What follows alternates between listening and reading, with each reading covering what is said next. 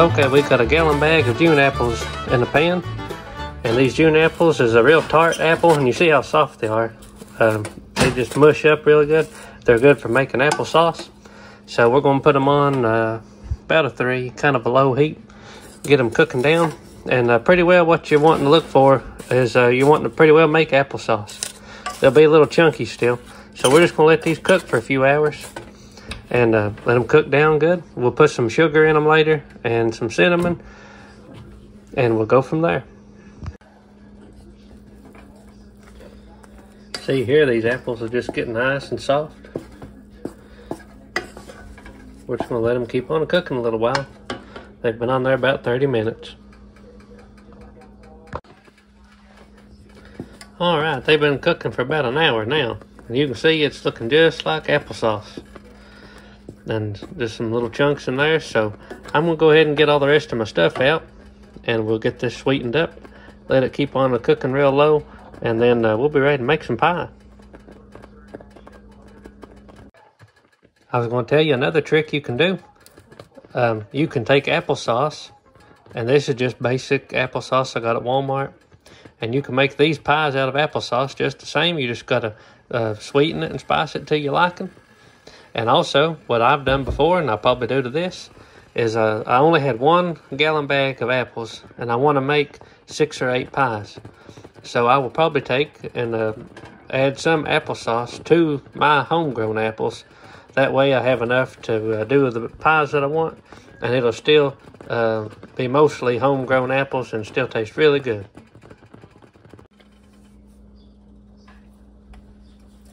All right, now we're going to add some sugar. I'm to add a cup of sugar to these. Then, this is just uh, cinnamon.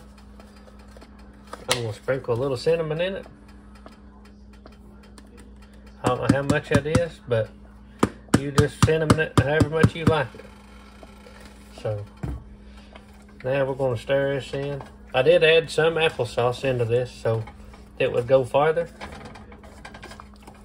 I want to have uh, at least six pies, maybe eight. Um, we're having a homecoming dinner at church, so you got to have plenty of apple pie when you got a good church dinner. So we're going to work that in there. And then uh, to tell if we got it the way we want it, get you a nice clean spoon. Give it a taste. If I want just a little more cinnamon. I don't put too much cinnamon.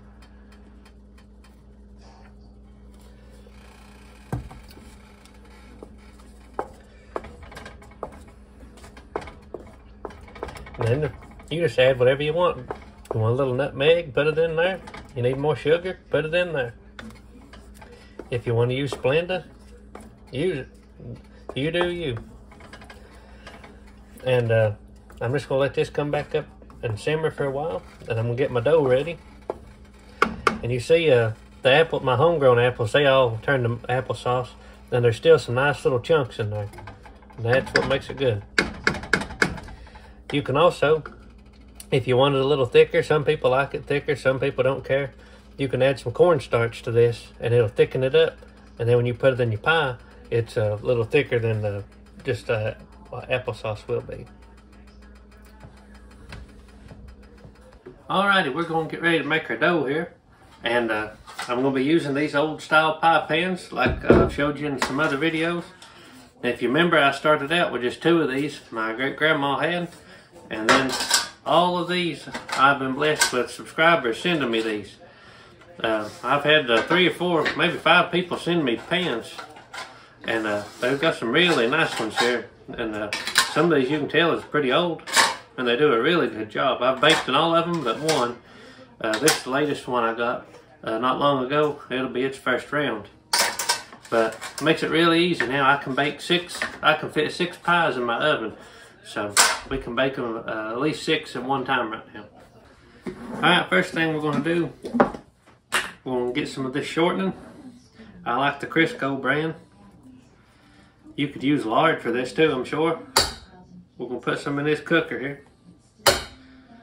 And I need at least for uh, six pies, I think I need about a cup. So a cup and a half the time I grease my pans. So we're gonna put uh, plenty in here. Now we're just gonna set this on the stove on really, really low heat, just warm enough to melt it.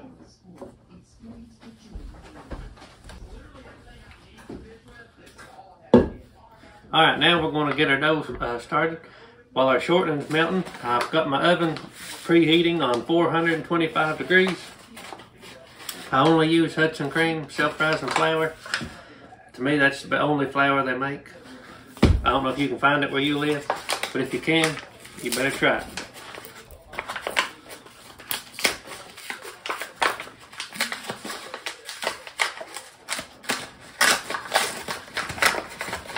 Alright, well I'm going to be making several pies.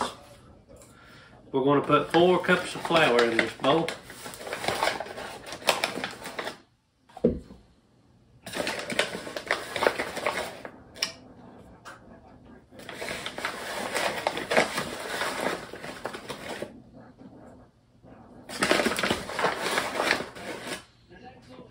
Alright. Now I just take my spoon or my dipper here and I just rub me a little nest in the middle to pour my ingredients in it.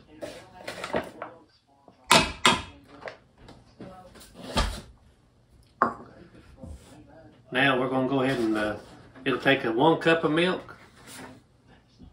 So I'm going to go ahead and pour my milk. Then uh, we need a cup of water. So I'm going to get us a cup of water.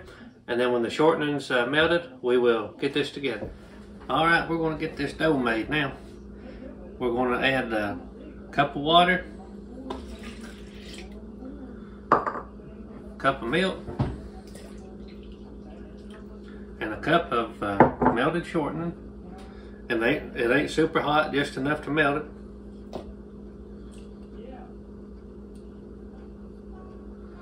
Now we're gonna mix this up.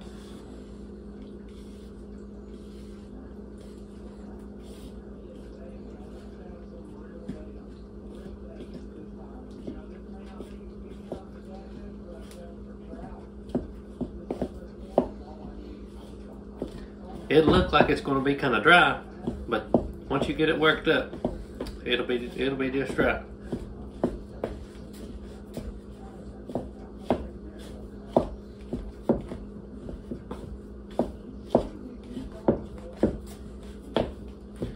If you was to get it a little dry, just put your little splash of milk in it.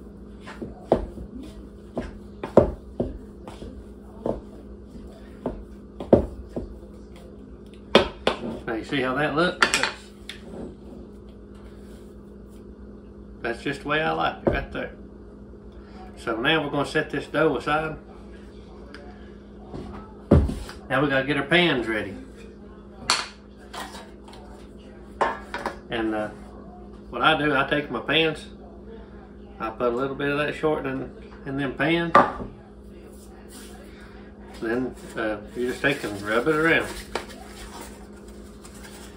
I cover the bottom, cover the sides. You could probably do this with shortening that wasn't melted. Just rub it around, however you want to do it. You don't have to go crazy with it, just cover them good. We're going to grease them all up.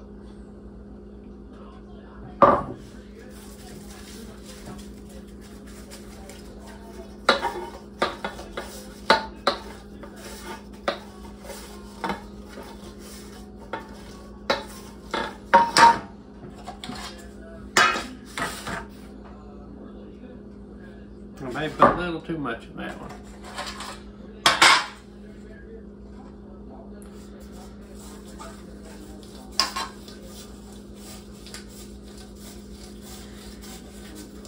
If you get a little too much, just uh, pour them out another one.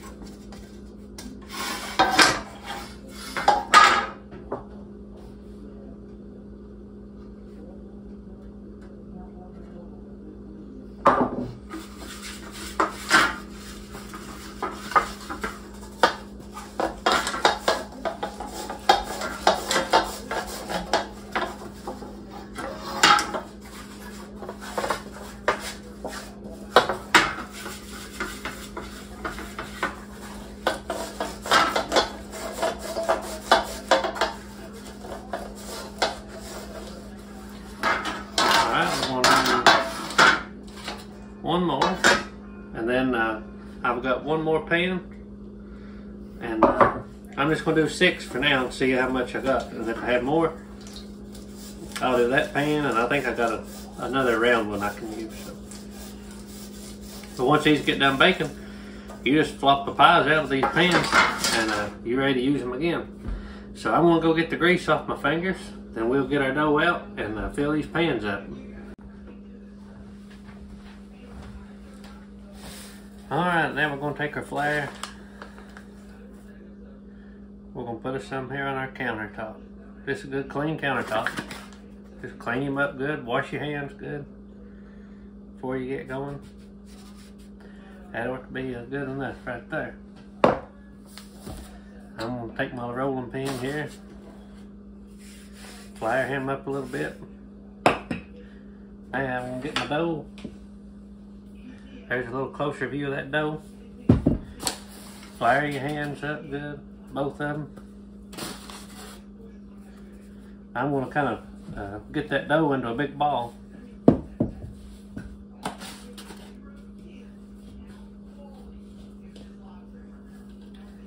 Here, you can see here is about the consistency of our dough.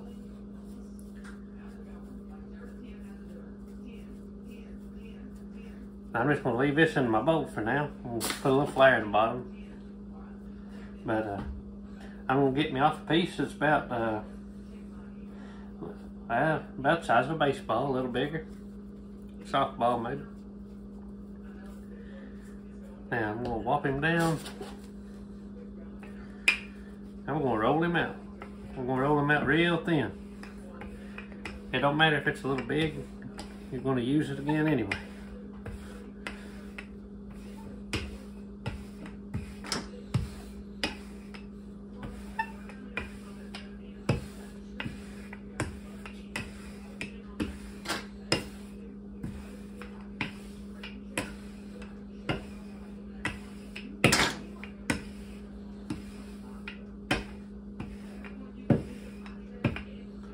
Alright. Once you get him made, I'm to fold him over. And I'm to do it right here just so you can see it good.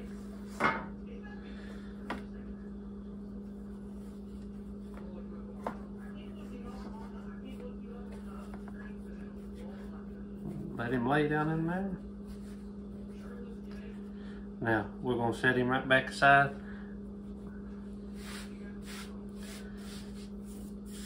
Now that one's ready for apples. I'm going to go ahead and make some more of these. We'll lay them in.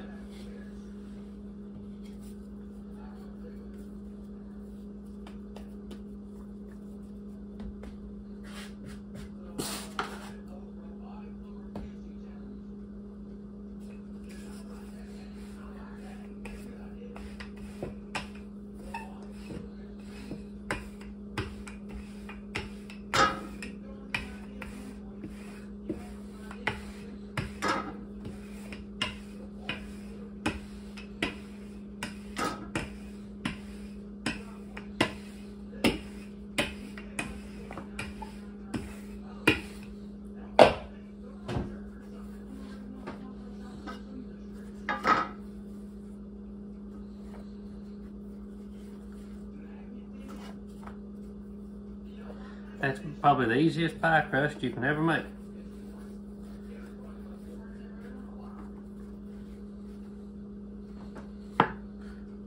Alright, we're going to get our apples over here and I'm going to show you how I fill them up now. Alright, now we're going to fill up this pie. And I got my apples here. And uh,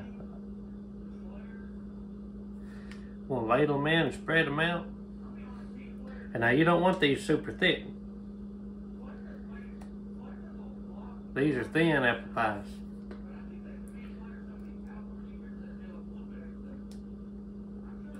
There, there's about all I'm putting in there.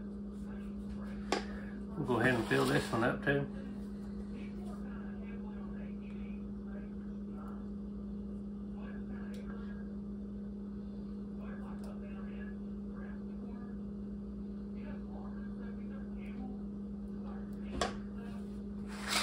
All right, we got one more ready.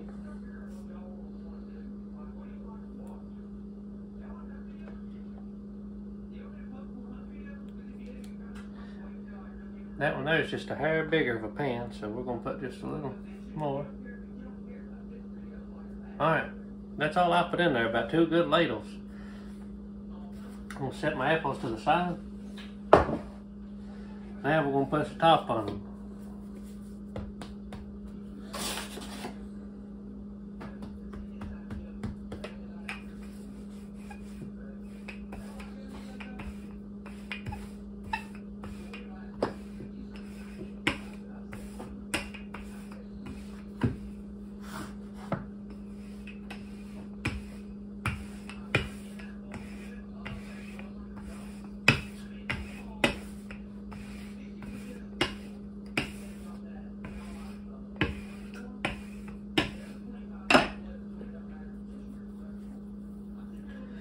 Nice and thin.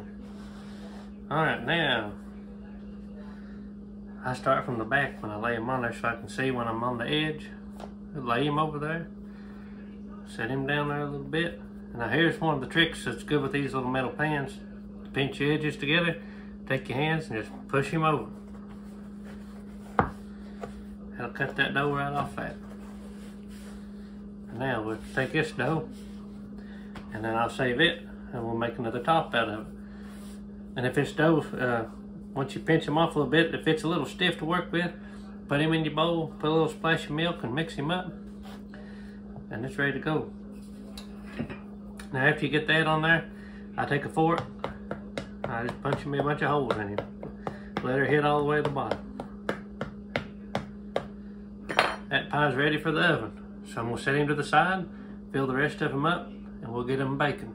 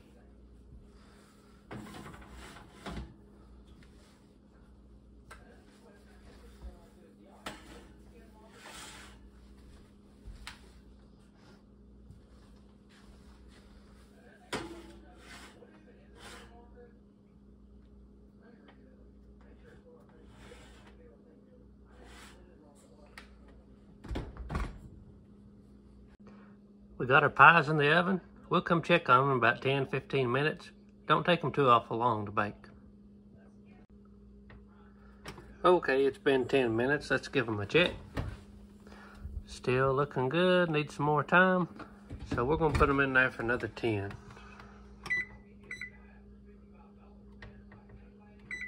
Normally about 15, 20 minutes. until Just till they start getting a little golden brown. That's all it takes. All right, we're gonna check them again. And oh yeah, they're looking mighty pretty, mighty pretty. Uh, they're starting to get a little brown, so I'm gonna get a few of them out here. And uh, this one here, I believe it's ready. And uh, we may give them both uh, maybe two more minutes. But they're about done now. Just gonna brown them up a little bit.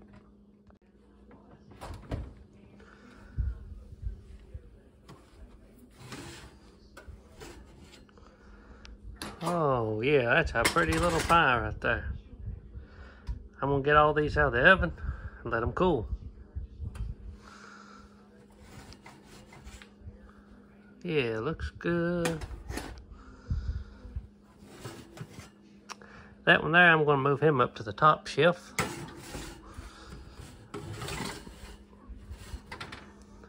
Looking good, looking good.